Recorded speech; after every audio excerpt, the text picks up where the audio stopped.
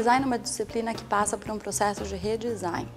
Uma disciplina que antes era utilizada para agregar valor cosmético a determinados produtos e serviços, hoje ela é responsável por criar estratégias competitivas. O curso, portanto, é direcionado para profissionais oriundos do design, mas gestores em geral, que utilizam o design como uma ferramenta estratégica. É um curso de 360 horas, com duração de 18 meses, uh, que abrange, enfim, todo esse conteúdo e que visa formar um profissional que possa conduzir uh, com propriedade uma estratégia de negócio uh, visando a inovação e visando um uso efetivo do design.